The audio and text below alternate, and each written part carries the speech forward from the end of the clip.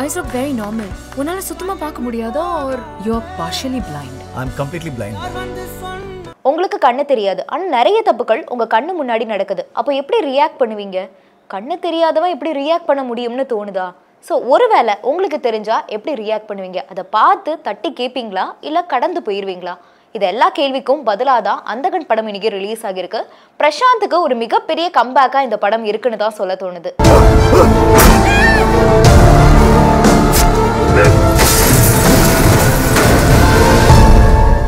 படம் ஆரம்பிச்சதுலேருந்தே ஒரு செகண்ட் கூட போர் அடிக்கல. அந்த அளவுக்கு ஸ்க்ரீன் பிளே ரொம்பவே பக்காவாக இருக்குது பிரசாந்த் தான் இந்த படத்துக்கு ஹீரோ அப்படின்னு நம்ம பார்த்தோம்னா செகண்ட் ஹீரோ யாருன்னு கேட்டிங்கன்னா கண்டிப்பாக சந்தோஷ் நாராயணன் தான். ஏன்னா அவருடைய மியூசிக் இந்த படத்துக்கு ஒரு பெரிய பேக் போனாக இருக்குது அப்படின்னே சொல்லலாம்.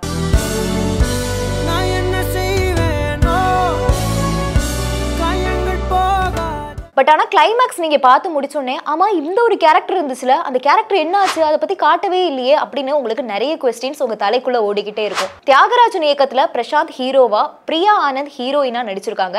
And Simran Karthik Samuthirakani Vanitha Vijayakumar K S Ravikumar Urvashi அப்படி நிறைய பேர் நடிச்சிருக்காங்க. முக்கியமாக யோகி பாபு பார்த்தீங்கன்னா கம்மியான சீனில் வர மாதிரி தான் தோணும். ஆனால் அவருடைய அந்த ரோலை ரொம்பவே பர்ஃபெக்டாக அவர் ப்ளே பண்ணியிருப்பாரு.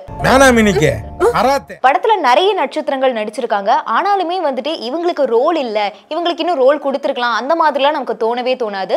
மனோபாலா வழக்கம் போல அவருடைய சீன் ரொம்பவே கம்மியா இருந்தாலும் நம்மளை நல்லா சிரிக்க வச்சுட்டு போயிருவாரு. அண்ட் முக்கியமா வனிதா விஜயகுமார். சமுத்திரகனிக்கு ஒய்ஃபா வந்துட்டு ரொம்பவே கம்மியா அவங்க வந்திருந்தாலும் அவங்களுடைய பாட்டுல பயங்கரமா ஃபன் பண்ணியிருப்பாங்க. அண்ட் சமுத்திரகனிய இதுக்கு முன்னாடி இந்த ஒரு நிலைமையில நீங்க பார்த்திருக்கவே மாட்டீங்க. அது படம் பார்க்கும்போது உங்களுக்கே புரியும். நீ அவனை கொன்றுக்கணும் ஸோ இந்த அந்தகன் படம் ஹிந்தியில் அந்தாதுன்னு ஒரு படம் வெளியாச்சு. ஆயுஷ்மான் குரானா அதில் நடிச்சிருந்தாரு. அந்த படத்தோட ரீமேக்காக தான் இருக்கு. அந்தாதுன் படத்துக்கு சிறந்த படம் சிறந்த நடிகர்னு நிறைய விருதுகள் கூட கிடச்சிருந்துச்சு. இந்த படம் ஈவன் டூ ரீமேக்காக இருந்தாலுமே ரொம்பவே பர்ஃபெக்டாக அமைஞ்சிருக்கு. இது ஒரு ரீமேக் படம் அப்படின்னே நம்மளால சொல்ல முடியாது. ஸோ இந்த படத்தோட ஸ்டோரி என்ன அப்படின்னு கேட்டிங்கன்னா பார்வையற்றவரா படத்துல இருக்கக்கூடிய பிரசாந்த். அவருக்கு வந்துட்டு லண்டன்ல போய் ஒரு பெரிய பியானிஸ்டா ஆகணும் அப்படின்னு ஒரு கனவோட இருக்காங்க. ஆனா அவருடைய அந்த கனவுக்கு வந்துட்டு நிறைய இடையூறுகள் வருது. அப்போதான் ஹீரோயினை மீட் பண்றாங்க. ஹீரோயினை மீட் பண்ணதுக்கு அப்புறமா இவர் வாசிக்கிற அந்த பியானோவை கேட்டு தன்னுடைய இடத்துலயே ஹீரோயின் வேலை போட்டு கொடுக்குறாங்க.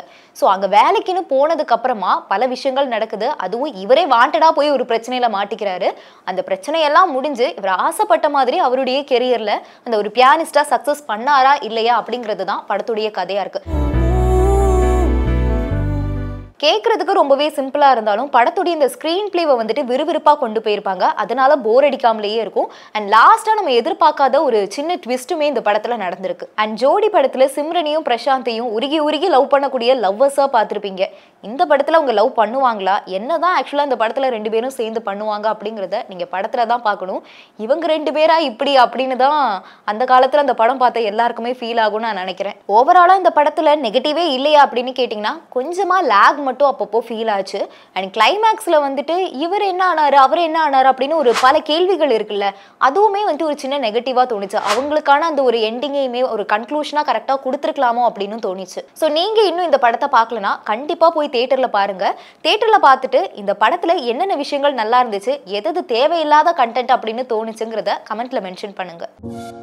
பரபரப்பான சினிமா செய்திகள் நட்சத்திரங்களின் பேட்டிகள் சினிமா வரலாறு ஆகியவற்றை பார்க்கவும் படிக்கவும் உங்களுக்கான இணையதளம் tour and talkies dot co.